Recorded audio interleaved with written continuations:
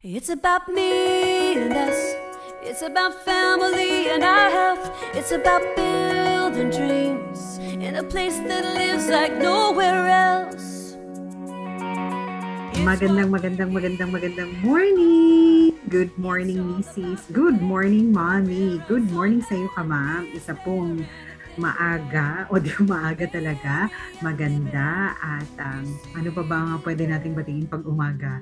Uh, produktibo, masaya, at of course, ngayon po ay um, pangkabuhayan tayo kama. Oo, Wednesday, usapang pangkabuhayan. Kaya naman ha, ang gagawin natin ngayon as promised ka nung last week ni Ma'am Freddy's ay suka. Oo, nagawa sa saging. Yan, banana vinegar ka ma'am. Exciting ha kayang-kaya pala at pwedeng-pwede tayong gumawa ng suka. Homemade, tayo mismo, galing sa saging. So, abangan yan, yan ang ating mga exciting na kwentuhan at idagdag pa natin ha. Uh, pag-uusapan din natin kasi nga, Women's Month pa rin. Oo. So, may nahanap ako na um, isang babae na talaga namang, uh, alam mo yan, modelo ng um, pagiging masipag at enterprising talaga na nanay. Oo. At yan po ay uh, malalaman natin mamaya kung sino yan ha. Siya po ang uh, may-ari at nagtatag ng sikat na sikat at kilalang kilalang National Bookstore. O, di ba? Pag-uusapan natin ang kanyang buhay, ang kanyang journey bilang isang entrepreneur at kung kaya pa ng oras natin, ang mga tips niya para sa atin, mga nanay na gusto na magnegosyo. So, yan po ang ating kwentuhan ngayong araw, ngayong umaga, dito lang po sa Magandang Umaga Mommy.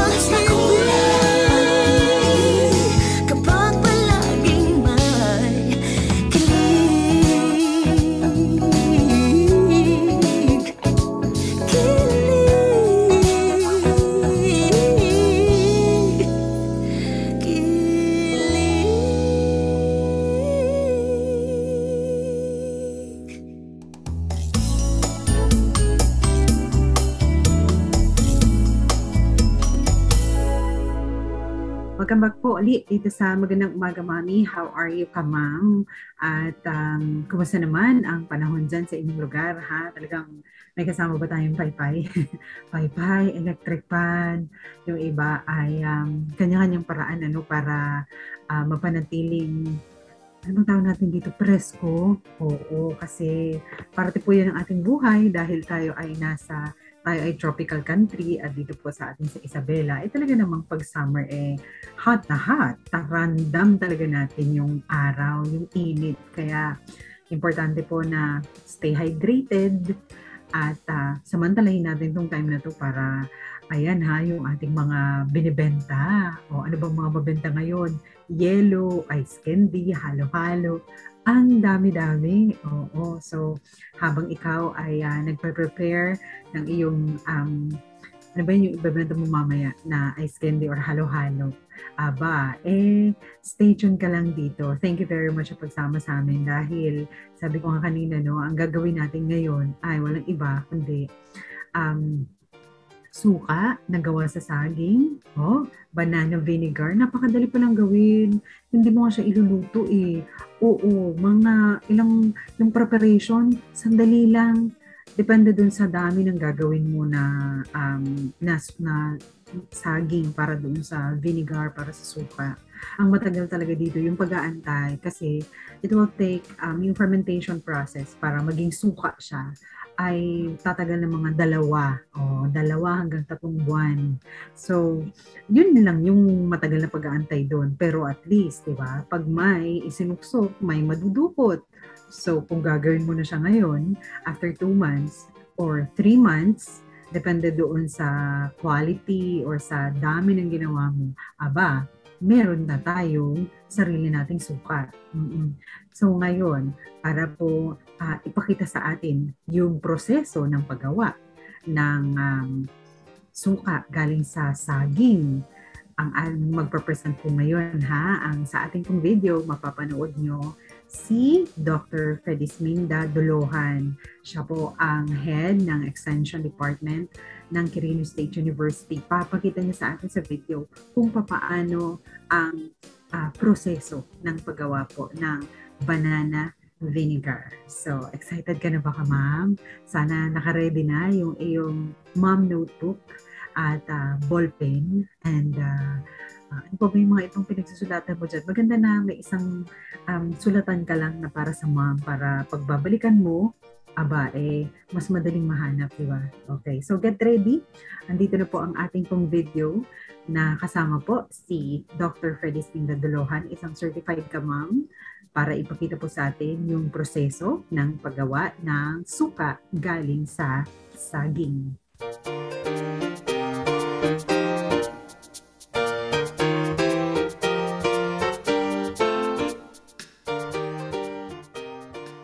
magandang umaga, Mami. Ang gagawin natin ngayon ay vinegar. Isa sa mga pinaka maliliit na kinakailangan natin or yes, na lagi nating gamit sa kusina ay ang vinegar or suka. So, tinatawag siyang condiments. Uh, gusto natin, gusto namin kayong turuan na pag ng saging o may mga saging tayo na hindi po kayang kainin at umabot sa punto na siya ay medyo overripe, hindi po ito sayang kundi pwede natin ito gawing vinegar Okay, so gagawa tayo ng ating sariling suka sa ating uh, tahanan or homemade vinegar out of banana. Okay, so madali lang ang paggawa ng banana vinegar. Kailangan lang natin siyempre ripe banana. At kung gusto natin mabilis na ma-ferment, kasi ang vinegar ay product po siya ng fermentation, gumamit tayo ng yung pampabilis na mga ingredients. So, ang sugar ay kailangan upang parang pinakapagkain siya ng natural na yeast or ito yung mga fermentor sa ating uh, pagkain. Natural na meron lalo sa pagkain na may tamis. So, gagamit din tayo ng yeast or yung instant yeast para mahisin o padali yung fermentation. And Siyempre, si uh, water. Ang water natin kung ano yung makikita nyo mamaya proportion ng ating fruit, yung dami ng ating Okay, so wala masyadong kailangan garbage. Meron lang tayong uh, container na pwedeng sukatan at yung banana per se. So, ocean, hindi tayo, hindi namin nire-recommenda ang metal pag ganito sa meditation. So, plastic. Kung marami-rami naman, pwede tayo gumamit ng timba. Okay, so, tama na, apit lang natin kung paano gumawa ng vinegar out of uh, banana. Pwedeng ilagay ang balat or pwede din hindi lalagyan ng balat. Okay. So, idiretso na natin siya sa ating lagayan. So, balatan lang natin siya. Yung mga iba minamas, pero okay na po kahit uh, slice slice mo lang siya. So, sabi ko kanina, pwede ilagay ang balat. Pero dahil marami yung ating saging, lagyan ng balat. Uh, any type of banana ay pwede gawin. Pero mas maganda yung mga medyo mataas ang medyo content. Kasi mas marami din uh, output of that. So, gaya ng mga uh, inhabitants or pwede din na sawa, pwede din na ang lapundan kasi, sayang naman, o kaya lang matatamis flavor ba ng tao. So, dapat ay yung mga hindi natin masyadong pinakain. So, itong variety na, na ating gamit ngayon ay uh, hybrid ito, mga FIA variety or mga Cavendish variety. Okay. At see to it na hindi siya masyadong lupos yung ating container. So, pwede din natin siyang lagyan ng, ng vinegar ay sugar. So, pwedeng one-fourth no? kung gaano karami yung ating sugar. So, yan. So, instead of put, uh, is to add two tablespoon and uh, lipos na water. Okay. And, one fourth. Pag ganitong klase, lalagay lang tayo ng one fourth tablespoon na yeast para mag-isa. Fermenting. So, haluin natin ng konti para ma-inch yung ating yeast. And then, takpan natin ng maganda yung ating gagamitin ay medyo porous o medyo tapsana. Kasi yung yeast na natural na nandiyan sa mga puta, kailangan na ng oxygen. Ano ito? Magbigay lang ng rubber band or din grease. Tapos kailangan natin siya ma-ferment o mag-blow. So, uh, two to one month. Two weeks to one month. After two weeks, ba natin. So, ilagay lang natin siya sa malinis na lugar na medyo dark cool. Kasi yun yung mga uh, kailangan ng ating yeast. Okay? So, ganito lang ang pagbabayan ng banana drink. So, maraming salamat sa inyong panonood sa ating homemade vinegar, banana vinegar. Maraming salamat!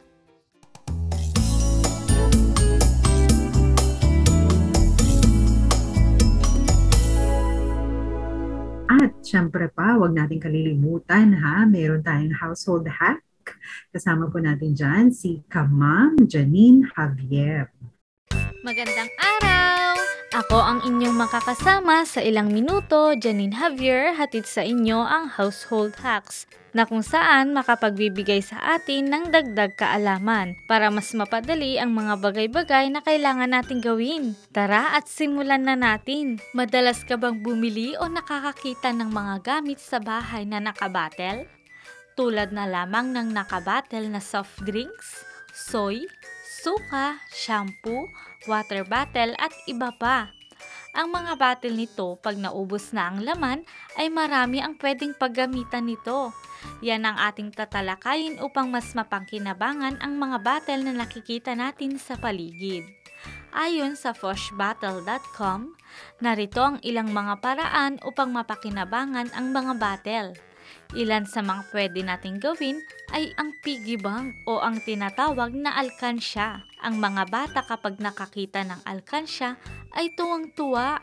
Lalo na kapag may naihuhulog silang salapi sa kanilang alkansya upang makapag-ipon at makabili ng isang bagay na gusto nila. Ang isang bottle ay pwede mong hiwain ng maliit na pahaba na magkakasya ang salapi. At upang maganda rin tignan, ang alkansya ay pwede mo ring lagyan ng design tulad ng pag-drawing sa palibot ng bottle. Pangalawa, ang watering containers o pandilig. Kung ikaw ay may mga tanim na halaman o mga gulay, ito ay magagamit mo upang madiligan ang mga halaman sa pamamagitan ng isang batel. Upang magawa ito, Kumuha ng isang batel at hiwain ang bandang taas na malapit sa takip at sumukat ng 2 or 3 inches saka ito hatliin ng horizontal line hanggang maging parang isang baso. At sa ilalim nito ay butasan ng maliit gamit ang pako o kung anumang bagay na makakabutas ng maliliit sa ilalim ng batel. At matapos nito, pwede na itong gamitin para makapagdilig ng halaman. Pangatlo sa pwede nating gawin sa battle ay ang hanging basket. Ang isang battle ay hatiin ng horizontal line sa bandang ilalim. Matapos iyon, kunin ang malaking bahagi ng battle na nahiwa. Ang ilalim ay ang may takip at ang ibabaw ay ang parte na nahiwa. At sa bandang nahati, sumukat ng 2 inches at maglagay ng dalawang butas na magkatapat. At sa dalawang butas, lagyan ng tali upang maisabit at pwede na itong lagyan ng lupa at taniman. At matatawag itong hanging basket. At pang-apat naman na pwede nating gawin sa battle ay ang pencil case na karaniwang ginagamit ng mga bata. Kumuha ng dalawang batel na magkapareho na pwedeng magkasya ang ilalagay rito na lapis, ballpen o crayola. Upang magawa ito, ang isang batel ay sukati ng 2 inches mula sa takip at hatiin ito ng horizontal. Ang pangalawang batel naman ay sukatin ng 3 inches mula sa ilalim ng batel saka ito hatiin ng horizontal line. Ang dalawang batel na hugis na parang baso ang gagamitin. Ang malaking bahagi ay ang paglalagyan ng lapis, ballpen o crayola. At ang maliit na bahagi naman ay ang takip. Upang hindi maghiwalay ang dalawang batel na hinati, kumuha ng pandikit at zipper upang ilagay ito sa magkabilang batel na nahiwa. Saka idikit rito ang zipper at pwede na itong gamitin. Yan ang ilan sa mga dapat mong gawin upang hindi nakakalat o basta na lang itatapon o susunugin ang mga bottle plastic. Kung ikaw ay magiging creative sa isang bagay, marami pa ang pwedeng gawin upang mapakinabangan ang mga bottle plastics. Yan ang dapat mong gawin. Hanggang sa muli!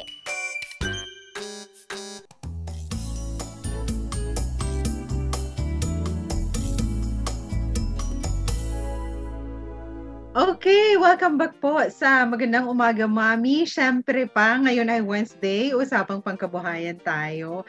Walang iba, kasama po natin and we are very much thankful simula sa uh, kanina pa doon sa video, di ba? Doon sa paggawa ng ating pong banana vinegar hanggang po dito sa ating pong interview, sa ating Q&A. We would like to welcome ang ating pong director ng Extension Department ng Quirino State University. Wala pong iba kundi ang ating pong kamam, si Dr. Predesminda M. Dulohan. Good morning po ma'am. Bati po kayo sa ating mga kamam. Magandang umaga mga mami. As usual, heto na naman po tayo. Miyerkules, kumikitang kabuhayan sa ating magandang umaga mami. Ayun. At, uh, Sige po, okay. At uh, ma'am, natuwa ako kasi nga um, napakadali lang palang gawin nung ano, suka, gawa sa vinegar, grabe. Kaya... O sa banana. Oo, sa banana. Tapos eh, dati kasi ma'am, one time na ano ako, na-engross ako sa yung papaano uh, young mother ako no, malilit pa yung mga anak ko, may mga kasama akong mga parents din.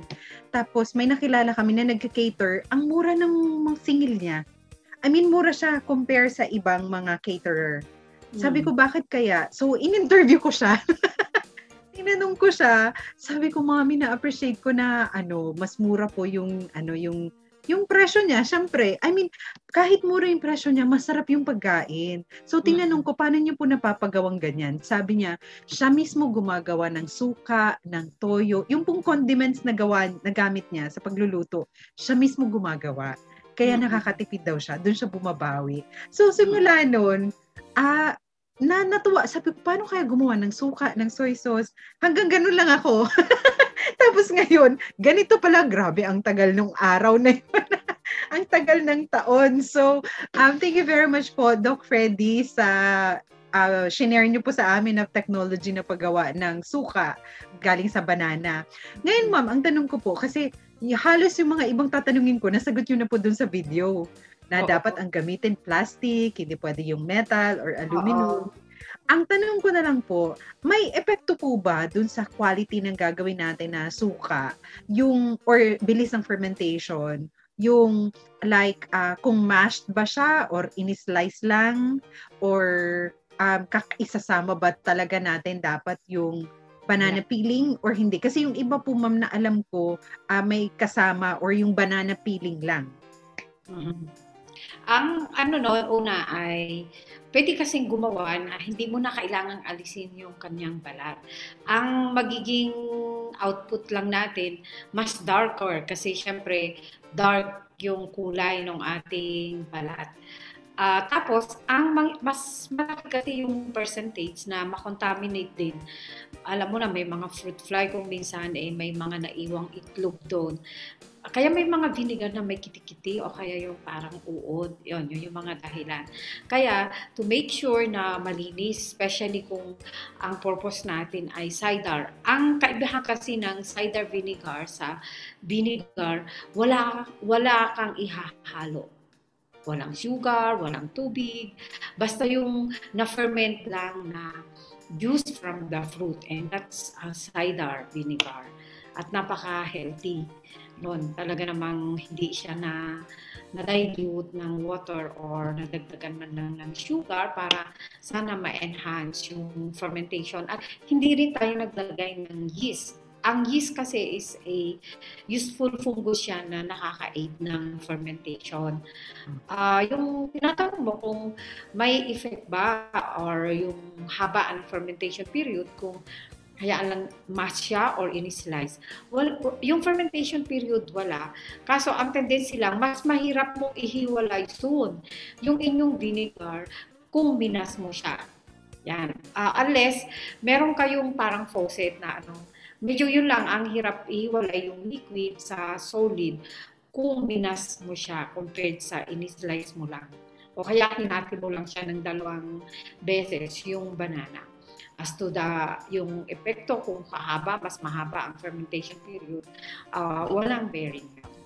Ah, okay. So ayan ka ma, malinaw po ha. Parehas yung uh, fermentation time at process. Ang pagkakaiba lang kung mashed banana, um, mas mahirap siyang ihiwalay yung suka, yung liquid at saka dun sa solid kumpara dun sa mga slice na. Ah, okay. So uh, yun actually, ma'am, yung una kong naisip noon. Sige po, thank you po. Ma'am, doon po tayo sa sunod na question. Kasi, uh, hindi ko po, ma'am, ano po yung ginamit niyo doon? Yung parang, some, parang medyo makapal na papel, yung pangtakip doon sa jar. Kasi wala kaming katsa at wala din kaming, kung meron kayo sana yung sackcloth. Kasi yung ating siribashi, yung fungus na pwedeng naturally na nagdudoon sa mga nahihinog na prutas yun eh uh, ano siya, uh, anong tawag na nito, kailangan niya ng oxygen. Yeah. So dapat makaka-penetrate, makakalusot dapat ang hangin kasi kailangan niya yun. Uh, aerobic siya pala. Aerobic microorganism, yung fungus na siyang uh, tumutulong para ma-convert yung ganun kasi yung natural na sugar ng ating mga prutas gaya ng saging i-convert ni Siribashi for uh, sa teka, uh, yung yeast ano ng scientific name niya kasi. Uh, parang libadura po ba yun? Uh, yun yung mga product na, na nagagawa. Uh, nasa parang dormant stage siya. Uh, nilagay siya hinaluan na ng substrate para ma-preserve yung yeast o yung kasi uh, fungus siya. Sa Coromyces ribacea ang kanyang uh, scientific name amag sa Tagalog, ito yung parang mga natural din ito na tumutubo sa mga pagkain na merong asukal o matamis gaya ng banana. At kung bakit ganoon kasi dapat ang pantakip natin makapag, makapasok ang hangin kasi aerobic siya. Kailangan niya ng oxygen or hangin para siya mabuhay. Yun. So, pwede po ma'am yung katsa o katsa. Oo. Okay, ah, so pinaka-ideal is katsa ang gamitin. Oo, katsa o yung yung kung may nakikita kayo na sa YouTube eh yung merong sackcloth o kaya yung Oo. jute sack na maliit. Yeah, ah, tama. Oo. Oh, okay. Sige po. Um, ngayon ma'am, ang tanong, 'di ba may cover siya? Hindi ko po alam kung ma- magkakaroon ba yun ng moisture, mababasa ba 'yon? Kung dapat pa, dapat po bang palitan 'yon at kung dapat siyang palitan, ilang araw por ilang linggo? Hindi 'yun mababasa kasi syempre ingatan natin siya. Basically, two weeks kasi medyo maamoy mo na maasim siya. In case incidentally nabasa, Uh, ang purpose kasi natin doon para hindi siya langawin. Alam naman natin na ang langaw pwedeng umikot. Mapasukan. Oo. Yun lang. To prevent other uh, mga organism o kaya mga na makapasok. Na makadapo sa ating ginagawang vinegar. Kaya dapat takpan. So immediately kung nasa, o ditakpan mo na siya. Ah, okay. So, ang ibig ko ma'am sabihin doon po sa yung mababasa, yung galing mismo doon sa loob wala ah, naman palang gano'n na moisture. Hindi mo siya dapat punuin ng puno. Yeah, dapat, dapat konting allowance na i- ilalagay para hindi mababasa yung takip. Right, tama. Okay. So, yun yun ka, ma'am. Ah, so, di mga, di ba ma'am, mga approximately two months kasi siya naaantayin. Medyo oh, matagal. Yung mga, oh. sabi ko pa siyang two months, one month, pwede na siya eh. Kasi ah, one month. ang two weeks, uh, ingatan mo siya kung gusto mo siyang gawing uh, wine, two weeks kasi siya ay i-rate mo na. Pero kung gusto mong yung alcohol, ay yung acetic acid ay hindi mako-convert, ay yung alcohol hindi mako-convert into maasim, o di two weeks yung, yung wine na meron ka nang ilalagay na parang pahingahan niya. So basically, one month, meron ka ng vinegar. Ah, okay. So, one month. Tapos, oh, ang cider, two weeks, meron ka ng cider. Ah, parang yun ang gusto ko, yung cider. Banana cider. ako napakamahal. Mm. Saka, mas okay siya kasi kung titignan mo yung production technology ng ating saging compared sa apple, ay eh, mas maraming mga ano kaya ang oh, local dito sa atin. Oo, yung aside na local na locally produced na yung ating banana, nakita ko kaya kung papaano ang production ng apple nung uh, may opportunity kami noon na nakabisita sa sa Korea doon sa Korean project na we have eh talaga namang maraming mga chemicals ini-sprayhan yan para hanggang sa siya ay ma-harvest. So, ah. mas uh, uh, basically ako nga ang pinopromote ko na ay ay a banana a day rather than an apple a day. Oo nga. Yeah, totoo 'yan. Dito pa sa atin, makakatulong pa sa ating mga ano, mga magsasaka. At, okay. At kung bakit namin Mami Rach, kung bakit namin siya naisipan na sige nga mag-banana vinegar tayo. Matagal na kasi ang Kirino na hindi na dalaw ng bagyo. Yun lang naman kasi ang kalaban ng ating mga magsasaging sa ating probinsya or region. So, imagine, umabot na ang dami-daming saging sa palengke na yung dati, ah, yung farm gate price na lakatan na pinakamahal ay 50. Tuwang-tuwa ako, bumili ako 10, 10, gra- 10 kilograms at yun ang ginamit namin na banana salad sa aming bisita. Binisita kasi kami ni DOST Secretary nung Sabado. Imagine, 25 pesos yung lakatan per kilo. Di, ang laki o. Samantalang 40 to 50 sa amin sa sa ano. So, tapos maraming mga nabubulukan. O, yung latundan, yung kasi yung mga variety eh. Yung mas maraming moisture content na masarap siyang gawing vinegar, yung green. Yeah. Green, green ang kulay kahit hinog na siya na madali siyang maalis sa kanyang pinaka-crown crown kung hinog na siya. Yun, yun yung mga ideal na gawing vinegar.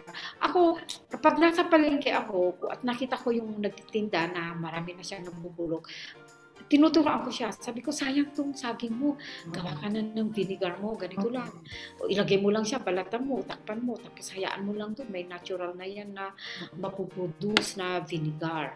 Tinuturoan pa kasi naaawa ako para lang mabalik yung kanyang pinamuhunan sa pambili ng saging para hindi siya masira, para hindi siya mabulok. Kasi yung enzyme na nandoon sa ating mga prutas, gaya ng saging, yun yung patupatuloy yun na ano eh, na gumagawa hanggang sa siya ay mabulok, hanggang sa totally, wala na siyang i-degrade. Yeah, tama. Oh, nakakatuwa naman. So, sobrang ganda pala nito ka, mama, nitong suka na gawa sa saging. Pero ma'am, ang tanong, ganito po. Kasi syempre, minsan, yung pag-aantay, ano eh, dapat po bang bukas ng bukas ng takip or Ay, hindi? hindi. Kaya nga maganda na ah, kung sa bahay lang, ilagay natin sa mga bote o kaya sa plastic na clear para makita mo, ay, marami na siyang sabaw. Yan. Ah, okay.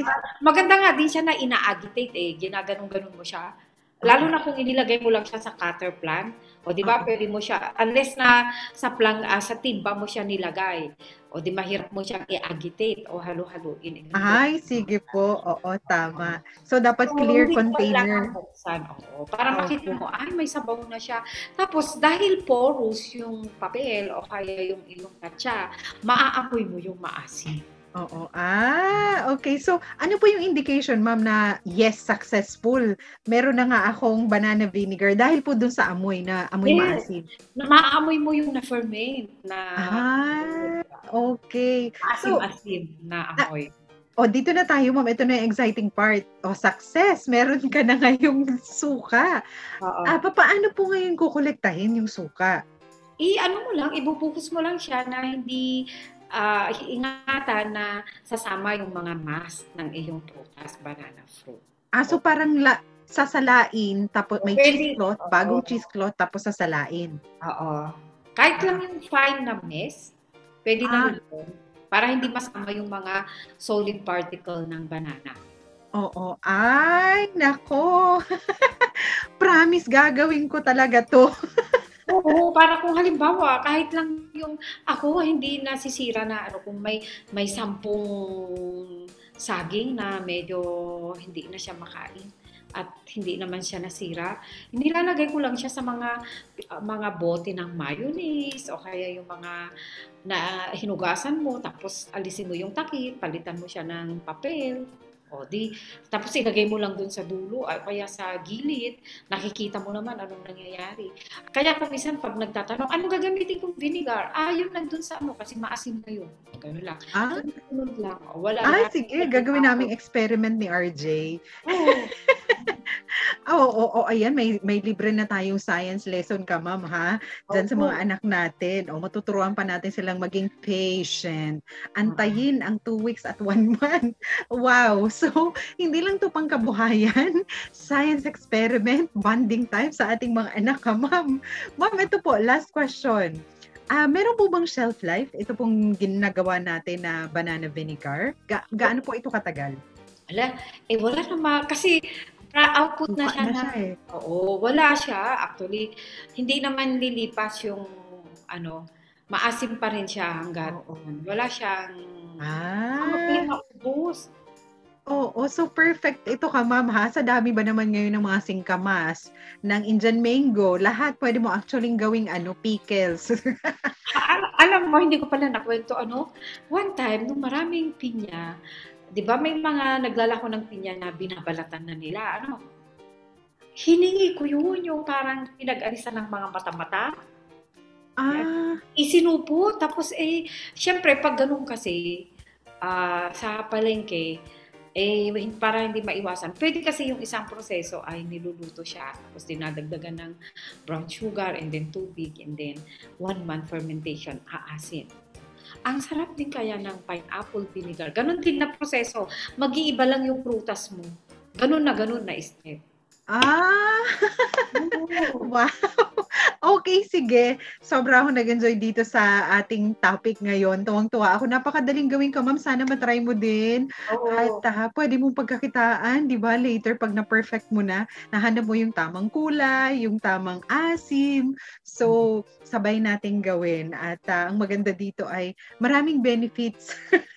Oo. Ako ang nakita ko dito, ma'am, yun nga, yung pwedeng science experiment kasama yung mga anak. Bonding time kasama yung anak. Actually, ito yung kung bakit naman maalam kami sa vinegar o di dahil ginagawa na namin ano, nung nasa fourth year ba noon si Bunso, yan na rin yung kanyang ano, yung kanyang ah, parang experiment niya sa Ah, science. Oh, 'di ba? Nice, maganda. okay. Ayan. So, diyan po nagtatapos ang ating kwentuhan, pero baka meron pa po kayo ma'am ah, gusto pang i-share sa ating mga kamam or ah, advice na gusto niyo pong ma-share na hindi ko po natanong or hindi ko hindi pa natin nabanggit. Oo. So kung marami-rami yung inyong nagawang vinegar out of banana, pwede natin itong itinda. O, as usual, magkaroon lang tayo ng 10% markup, whatever yung inyong how much yung ay yung expenses. So, halimbawa, nakagastos ka lang ng ah, siguro dahil dinamihan mo 50 pesos, eh, ang yield ng iyong 50 pesos worth ng banana, nakasampu ka, o di, rather than itinda mo siya ng tiga 5 pesos, patungan mo, ng, patungan mo rin ng kaunti. Kasi actually, yung ah, 10 pesos, yung isang parang bilog, Ah, yun yung isa naming cooperative na ang kanilang business ay ah, chips at kung nahihinugan sila, ginagawa nila itong tinuruan din namin na gawin nilang vinegar. Tapos nung dinalo namin one time ang kanilang pagpresyo sa ano ay 10 pesos, eh organic pa siya. Hindi pa siya talaga mixture ng ating acetic acid. So kaya mga kamam, tinuturuan na namin kayo na yung tinatawag natin na wise dahil yung nabubulok na sana ay ginawa nating mapapakinabangan, magawa natin siyang vinegar rather than hayaan lang natin siyang mabulok. So, ah, isa ito na ginagawa natin na para kayo mga mga kamami ma-inspire sa ating gawaing pambahay, sa mga bagay na nabubulok, pwede natin siyang pakinabangan. Yan. Okay. Ma'am, thank you very much po ha. Very much appreciated po yung pagbibigay niyo po sa amin ng time na this is for free. Di ba ka ma'am? For free Ah. na um, tinuturo po sa atin itong mga ganito pong klase mga technology at mga produkto para po masubukan natin at para kumita tayo kahit papaano, kahit nga hindi kita eh, na yung pangbenta, yung bang makatipid lang tayo, ang laki-laking bagay. And uh, once again, Ma'am Freddy's, thank you very much po. See you po ulit sa next week sa panibago na namang uh, usapang pangkabuhayan. Thank you po. Ingat po kayo. God bless po. And God bless, pagpalain ang ating mga masisipag na mami sa Yeah, kanilang tama mga po. Tama po. Okay. Thank you, ma'am. Bye po. Okay, bye, Mami Rage.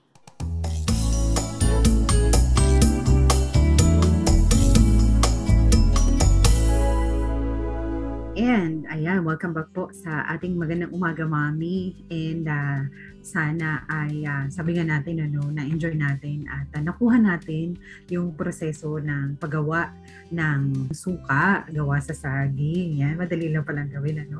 Sana nasulat mo ka, Ma'am, sa iyong Ma'am Notebook. At um, ganun din ha, yung ating pong mga katanungan, sana ay uh, magkapares tayo ng tanong at nasagot kanina ni Ma'am Freddy's. Pero kung sakaling may mga tanong ka pa na hindi ko na itanong kanina, you can send in your question. Oo, pwede naman ha. At tatanungin natin kay Ma'am Freddy's uli. Ang ating pong numero ay 0917 564-8388 o di naman kaya ay uh, pwede kang magsulat, mag-comment sa ating comment box at um, ganun din pwede ka rin namang magbigay ng iyong katanungan o di naman kaya ay suggestion na pwede rin yon Ano pa yung mga bagay na pwede nating ma-improve or um, gawin pa, suggestion o on mga ideas na gusto nyo pang malaman. Mm-mm. And um, sa ating uh, pagpaputuloy sa kwentuhan natin. Oo, so, talaga naman na oo, tayo po ay nasa summer season, election season, uh, ano pa ba, season ng pagmamahal, pagmamahal, pagtataas ng mga presyo ng mga bilihin. Wow, talaga naman po ha, mga yung ating gasolina at lahat. Pero sa lahat ng yan ay pwede pa rin tayong mag-smile. Oo, kasi ah, marami pa rin naman tayong blessing sa totoo lang. Kung bibilangin po natin, marami pa din po. Oo, like tayo ay merong buhay, nandyan yung ating pamilya, meron tayong nailuto kanina, at meron tayong mailuluto uli mamaya, ngayong tanghali, hanggang mamayang gabi. Oo, alam mo yung simple life, at um, merong mai, yung mga nagtitinda, merong maititinda, di ba? Merong mga bumibili, kahit na pa konti-konti, at least meron pa rin bumibili. So, meron tayong napapakinggan sa radyo na nakakapagpa-encourage sa atin. Yung mga ganong bagay lang ba ay uh, napakalaking bagay po. Oo, malaking tulong. So, ingatan po natin yung ating mental health. Ika nga, ano ba yung mga pinapanood natin, tinitingnan natin. O, medyo iwas tayo sa mga, ang tawag nila sa social media ay bardagulan. O, dagdag pa yan sa mga stress natin. yung mga nag-aaway at nagsisiraan. Oo, alis tayo dun. Hanap tayo ng mga bagay na makapagpapabuti lalo sa atin bilang isang tao. Di ba? Mm-hmm. So, ito, mga business ideas na pwede natin gawin. And um, kanina nga, uh, yung bang na-discuss ko, dahil ngayon po ay Women's Month pa rin. O, di ba ang buong Marso, Women's Month celebration. So, naghanap ako ng isang uh, ano ba ito, entrepreneur na nanay. Nakakatuwa po kasi uh, ang story niya ay nagsimula sa, hindi ako nagkakamali, ilang taon na ngayon si nanay. Nanay ko rin kasi ang tawag sa kanya eh. Oo. Kung familiar po kayo dun sa tinatawag natin na National Bookstore, uh, yung bata pa kasi ako, pagka nakabili. Yung bang pag nakapunta ka sa National Bookstore, tapos nakabili ka ng gamit na pang gamit pang school galing doon sa National Bookstore. Parang feeling ko eh, ah, parang social-social. Yung ganun ba? Kasi nga kilala talaga siya sa sa hindi lang sa mga gamit na school supply or office supplies, kundi sa mga libro. Talagang mga libro. So, nakakatuwa at uh, magandang makita na uh, ilang dekada na ba to? Since 1942. Oo, so halos 70 years ang National Bookstore. Simula noon, mas matanda pa kesa sa akin. Diba? Akalain mo yun. Pero meron pa rin hanggang ngayon. At yung may-ari po ng National Bookstore, ang pangalan niya ay si, sayang hindi ko mapakita dito, ano, sige, magre-request ako kay JM kung pwedeng lagyan ng picture ni Nanay Socorro para makita nyo ang pangalan po nung nagmamay-ari na nagtatag ng National Bookstore ay si Nanay Socorro Curing Ramos. Yan.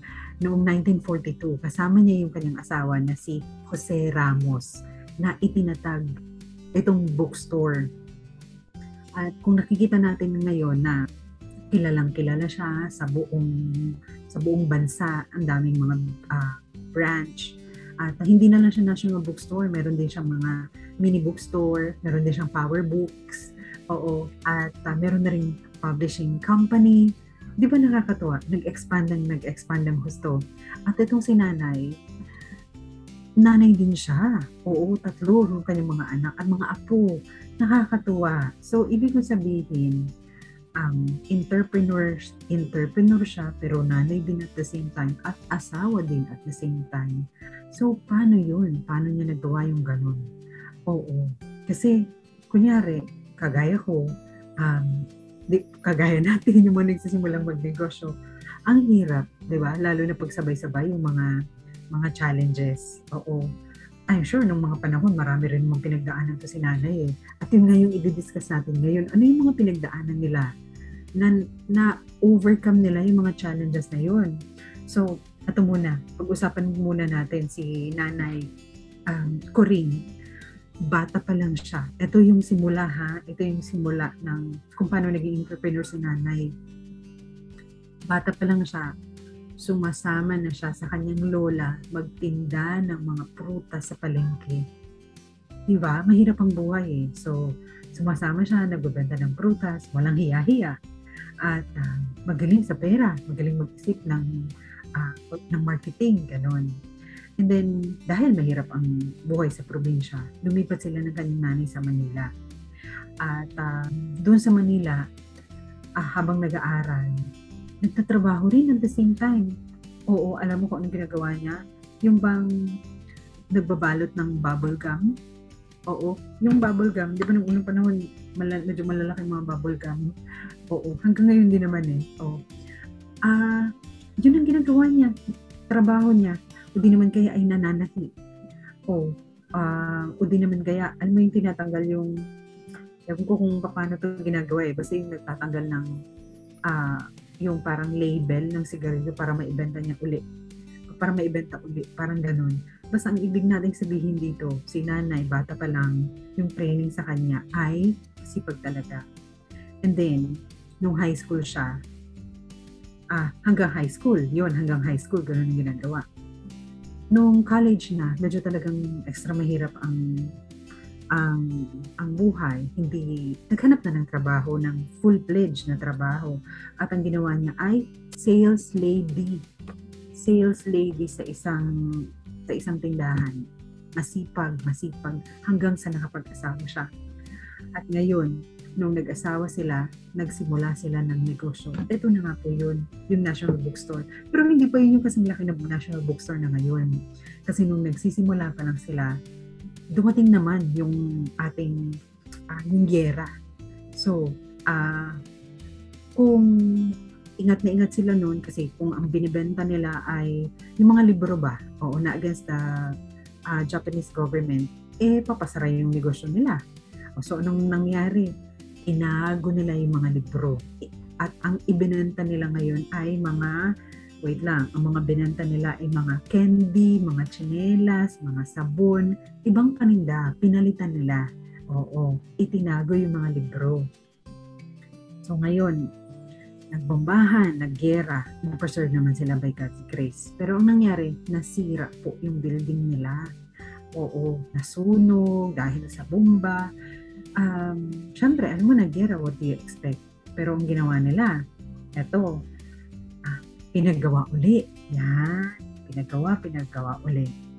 At, um, pero lumipat na sila ng ibang lugar. Ito na yung tinatawag natin na sa Avenida. Yan, actually hindi pa ako nakarating dito eh. Nung lumipat sila ng lugar, ayan, ang ganda na, di ba? Okay, tuloy-tuloy na uli ang negosyo. Pero binahano naman Grabe no, yung mga experiences, yung mga pagsubok sa buhay. Binaha, bumaha, at natanggal yung bubong ng kanilang building. So, lahat ng mga paninda nila, syempre mga libro to, di ba? Libro, papel, nabasa. At ang sa pinaka, ang lahat, sa lahat na pwedeng mabasa. Puti sana kung tela, kung tuwalya or damit, pwede pa sanang malabahan or maibilad, ano? Pwedeng gawing pre-love, parang, parang ukay na. Oo. Eh, ito mga papel eh, mga libro. Pero alam mo, hindi sila tumigil doon. Hindi tumigil, hindi na-discourage, tuloy pa rin ang buhay. Oo. Naghanap ng mga ibang mga business ideas, nakipag-collaborate, kumbaga. Ibig sabihin natin ito ay um, naghanap sila, nakipag-partner sila sa mga iba't ibang mga companies sa Amerika ang nangyari dito, yung mga libro na sobrang mamahal, ni-reprint nila dito sa Pilipinas at binenta nila ng mas mura. Kung kunyari, ang presyo ng libro ay 1,000 pesos, um, dahil iprint na nila dito sa Pilipinas, yung 1,000 dati na halaga ng libro ay naibebenta na lang ng 350 to 400. O di ang laking tipid. Kaya doon na nagsimula yung pag-boom ng National Bookstore Siyempre, tuwang-tuwa ang mga magulang, tuwang-tuwa ang mga estudyante kasi makakamura. Makakabili ka ng maganda, dekalidad, at affordable na libro. Yun yun. So, nakakatawa at hindi tumigil doon. 'di ba? Hindi tumigil doon sa mga pinagdaanan nila. Oo. Um, ibig kong sabihin, natutong nag-adjust, nag-adapt sa mga changes itong si nanay ko rin habang nag-aalaga ng kanyang pamilya, ng kanyang asawa, ng kanyang mga anak. Sa ngayon, buhay pa rin si nanay ko rin eh. Hindi ako nagkakamali, siguro mga 19, mga 98 na siya, ba? Oo, nire-research ko muna pero para sure. Pero ang alam ko nandyan siya sa edad na 97, 98. At imagine mo, 70 years na siya na involved sa ganitong klase ng pagnenegosyo. Grabe ano, di ba very inspiring yun? At uh, actually marami na rin mga naibigay na mga awards kay nanay ko rin. Oo, kung bakit siya ang feature natin ngayon.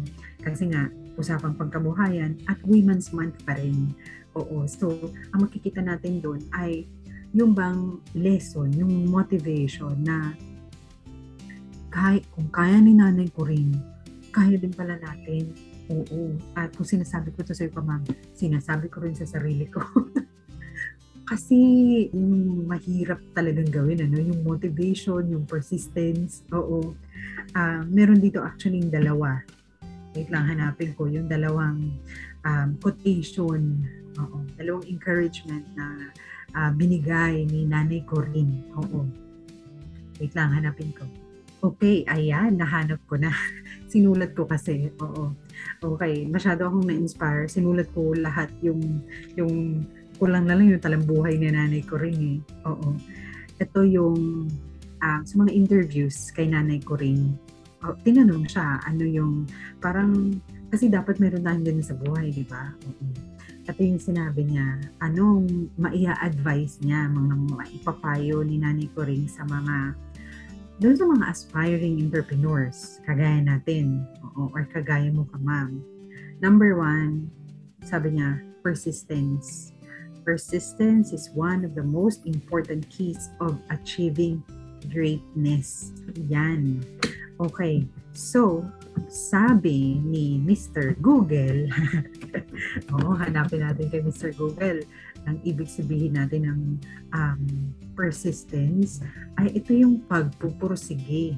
Yan. Ibig sabihin, uh, kahit na kahit na mahirap, oo, yun. Kung ano yung goal mo, ano yung nakikita mo, ano yung pinagplanuhan mo, meron at meron talaga mga challenges eh, di ba? Meron talaga. Ito si nanay ko rin, I believe, sa panahon ng gera, nung unang panahon, pag sobrang walang comfort nun, pag nanay ka. Ngayon, may diaper, may wipes, uh, parang lahat instant, lahat madali. Oo, lahat, may access tayo sa lahat ng bagay. Pag may assignment, yung mga anak natin, Google, di ba? Pwede naman may kuryente. Yung unang panahon, gasera. Na, I'm not so sure dyan sa ibang part na yan ha.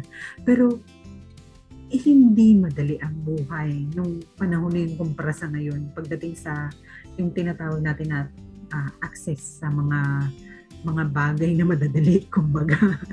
Oo. Pero tingnan mo, nagsucceed naman. At hanggang ngayon, meron pa rin naman ng National Bookstore. Kahit na, kahit na puro na tayo online, kahit puro digital. Totoo, sa isang mall dito sa Kawayan, ang dami nang nagsipagsarado totoo, nagsarado ng mga um, kainan, mga shop, iba't ibang klaseng mga shop yun ha.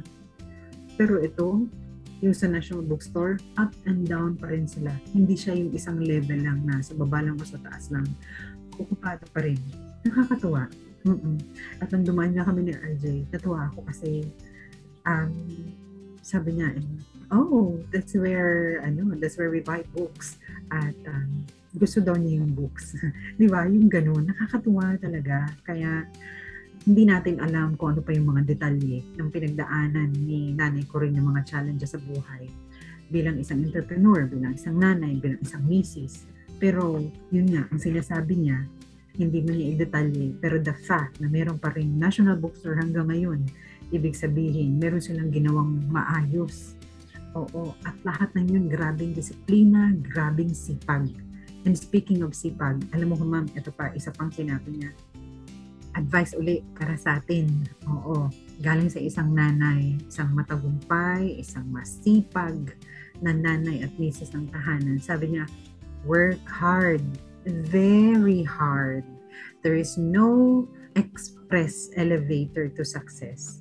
You have to climb the stairs. Yun.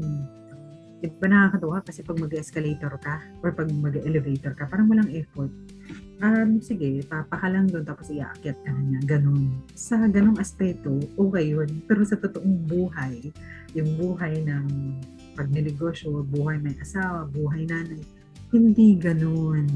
Totoo. Kanya-kanyang level na ano. So, bago tayo makarating dun sa, di ba, kunyari si nanay nandito sa level na to, no? Mm-mm. Kung tayo ay nandito pa lang, eh, wag muna tayong mag-achieve na nandito na agad. Oo. Kailangan muna nating duman sa step 1, step 2, step 3. Oo. Kasi naman yung journey na yun, yung pinagdaanan naman na yun ni nanay ko marami siyang natutunan. Mm-hmm. Uh, I'm sure she was very humble. Kasi hindi siya humble, papaano mag expand yung negosyo niya kung hindi siya nakinig sa maraming tao, sa mga advice, 'di ba? Alam naman niya kung ano yung tama, pero sumangguni siya, nagtanong siya kung paano may improve. Di ba ganun? Oo. And most importantly, yun nga talagang sipag, sipag at syaga. Sobrang sipag. And ako saludo ako sa mga nanay. Totoo, mga nanay at mga misis, lalo na pag nagtatrabaho, working mom, di ba? Hindi mo lang asikasuhin yung yung trabaho mo sa labas. Oo, kasi 'di ba, alam naman natin ang priority natin, number one is of course with the Lord. And then yung asawa natin, and then yung anak natin. So yun yung order ng priority natin. Saka lang ngayon papasok yung sa trabaho at yung mga activities sa ministry. Diba? Mm. So, imagine mo yung stamina at lakas na kailangan ng isang nanay para hindi maubos yung energy niya. At lahat, di ba? So, sobrang yung time management, yung pasensya, yung love, yung pagsisipag, ay grabe. Totoo talaga grabe. Kaya, um, natutuwa ako na meron ganitong Women's Month celebration kasi nga, napapag-usapan natin yung mga ganito. At makikita natin na yung mga, mga um, yung mga successful sa buhay, yung mga nanay, o mga kababaihan, talagang nandun yung pagpupursigi. Nandoon yung pagsisipag. Nandoon yung disiplina. Kasi kung petiks-petiks, wala, di ba? Oo, wala. Wala tong, at yung pagsasakripisyo, grabe yung pagsasakripisyo. So, ganun talaga ang buhay. Pero ang importante naman doon, sa lahat ng ginagawa natin, ay um, ang maganda doon, ang pinaka-source talaga ng strength, ng motivation, ay walang iba kundi ang Panginoon. O, di ba? Yun naman yun. Oo, pag alam natin kung ano yung purpose ni God sa buhay natin at alam natin na um, lahat ng mga pinagdadaanan natin or yung process or yung journey na yun ay laging merong magandang purpose ka. Laging merong magandang plano. Yun. I think um, isa rin yun sa mga maghahanap ako ng mga ibang material about nanay ko rin about that. Pero I think kasama yun. Oo, importante yung may ganun eh, yung faith. Oh, so, ayan, uh, uubos na yung time natin. Oo, extended. Pero actually, madami pa to. Ang nangyari pa dito ay, oh, sa ngayon, ilan, ilan na ang National Bookstore branches ng National Bookstore sa buong bansa, 160 around the Philippines. Uh, wala pa dyan yung mga mini outlets, specialty bookstores, yung mga um, ano bang tawag natin dito, publication um, companies, meron na rin sila. Di ba nakakatuwa? At 70 years na na si nanay ko rin ay hands-on oo, sa ganito. Nakakatuwa yung ganun. Imagine mo kung paano kung magmamanage ng ganyan kadaming tao.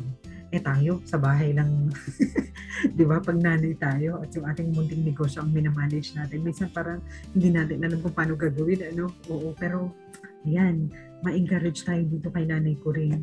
Sa susunod na usapang pagkabuhayan natin, ibibigay ko yung ano, yung mga business tips. Yan, kasi kulang na tayo sa oras.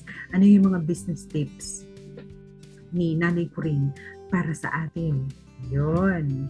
And, ano pa, of course, meron pa po tayong pagbubulay-bulay. Abangan po yan sa aking pagbabalik dito sa Mom. Pagbulay-bulay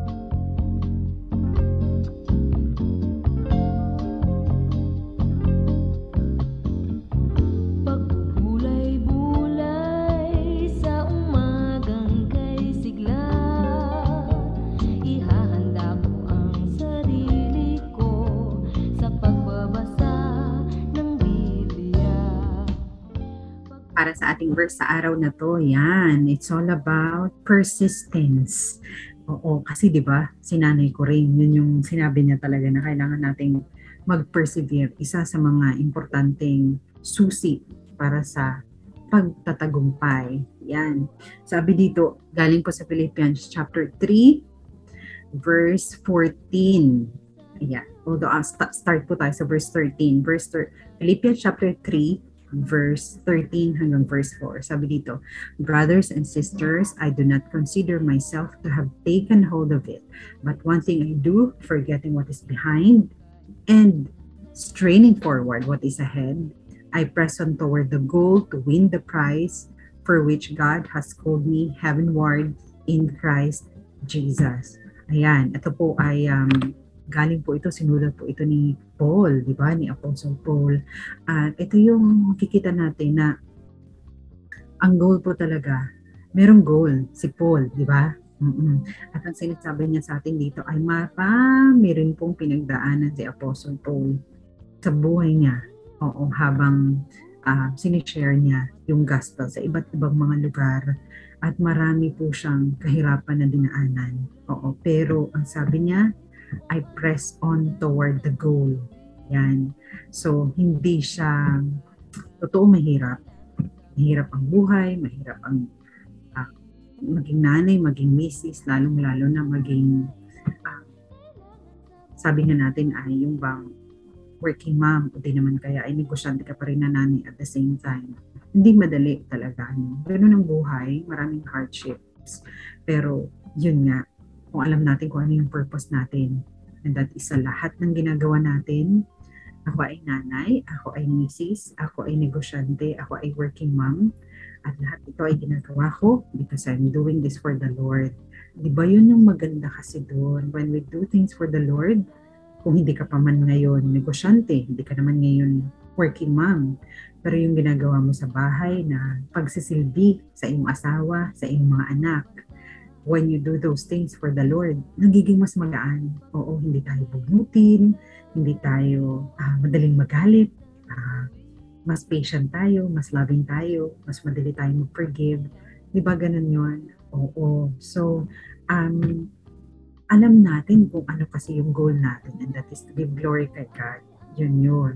So kahit mahirap, kahit may mga pagdadaan ng mga challenges, tayo ay magpupursige. Kasi alam natin na ano man yung ating uh, dun ba sa journey natin na tinatahak natin, the Lord is with us. Yun ang pinaka-importante doon. At um, patuloy lang tayo doon sa yung mga mata natin na naka-fix dyan po, nakafocus tayo dun sa gusto ni God para sa buhay natin. So we continue to press on para dyan sa mga um, mga plano natin sa buhay na sana naka-align sa gusto ni God sa buhay natin din, di ba? Oo. So, pag malinaw yung ating plano, pag malinaw yung ating vision, ang focus natin is to give glory to the Lord. Ano man yung ginagawa mo, ikaw ay um, homemaker, nanay, misis, nagtatrabahong nanay, nagme-negosyong nanay, lahat ng ginagawa natin, dinededicate natin kay God, God will bless your work.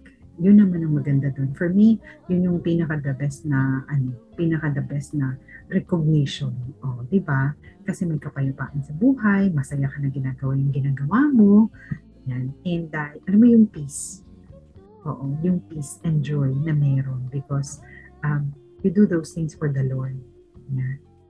So, yan po ang aking pong um, simpleng uh, maikukwento sa inyo sa araw na to. See you po ulit sa Biyerdes, dito pa rin sa 1143 DZMR. Sa magandang umaga, Mami. Ako po si Mami Rachel De La Rosa, nagdasabing anumang hamon ng buhay. kakayanin natin dahil tayo ay nanay at ang Diyos at Ina ang ating. Kasama ay magsaya